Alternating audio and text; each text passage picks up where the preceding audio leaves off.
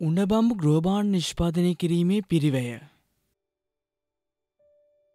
අපි ග්‍රෝබාණ්ඩයක් සාධනවිට එහි මිල සාධාරණීකරණය කරන්නේ කෙසේද.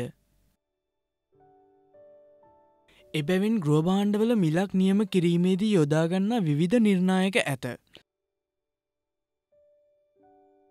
ද්‍රව්‍යමය පිරිවැය සහ ශ්‍රම පිරිවැය මෙන්ම කර්මාන්තශාලාවේ මුළු පිරිවැයසා ලාබේ ඒට ඇතුළත් වේ. එබැවින් ග්‍රෝභාණ්ඩවල පිරිවැයක් සිද්ධ කරනු ලබන්නේ මේ ආකාරයටය. එබැවින් අපි පළමු කරුණ වෙත අවධානය යොමු කරමු. එනම් ද්‍රව්‍යමය පිරිවැයයි. මේදී අපි භාවිතා කරන මූලික අම්ද්‍රව්‍ය එනම් උනබම්බු වෙත මූලිකම අවධානය යෙදවිය යුතුය.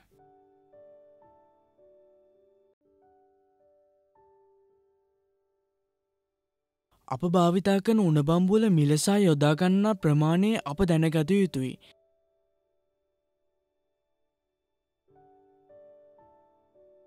එසේම යොදාගන්නා සියලුම ද්‍රව්‍ය එනම් වැලි කඩදාසි ඔබ දැමීමේ කඩදාසි වැනි ද්‍රව්‍ය මේ පිරිවැයට ඇතුළත් වන සියලුම කරුණු ගැන අවධානය යොමු කළ යුතුයි. ස්කරුප්පු ලනු වෛරසා අරල්ඩයිඩ් ෆෙචිකෝල් වැනි ඇලුම් ද්‍රව්‍ය එසේම මෙලමයින් සීල වැනි ඔපදමීමේ ද්‍රව්‍යමය පිරිවැයට ඇතුළත් වේ.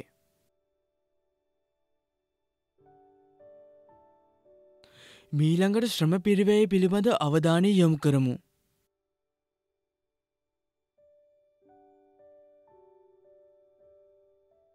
සෑම ක්‍රියාවලියක් සඳහාම ඊට අදාළව වෙන් වූ කාල සීමාවක් ඇත.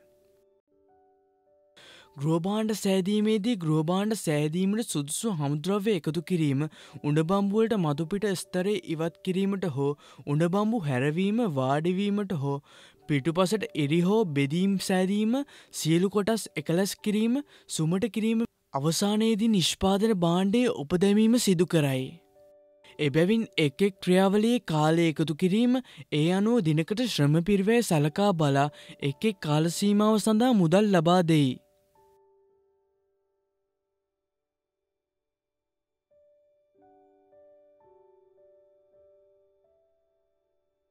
So this is how ඉතින් ශ්‍රම පිරිවැය ගණනය කරනු ලබන්නේ මේ ආකාරයටයි.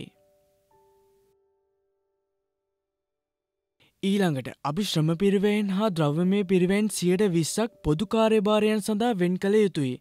ඒ සඳහා කර්මාන්තශාලා කුලිය සියලුම බිල්පත්සා නඩත්තු කිරීම සඳහා යන්ත්‍රපකරන භාවිතය ආදී ඇතුළත් වේ.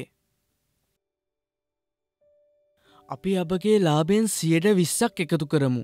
එබැවින් ශ්‍රම පිරිවේ හා ද්‍රව්‍යමය පිරිවේ සහ පොදුකාර්ය සියට විස්සක් වෙයි. ග්‍රෝබාන් නිෂ්පාදනයේ මුළු පිරිවේසා ලාබය ලබා දෙන්නේ ඒ ආකාරයටයි.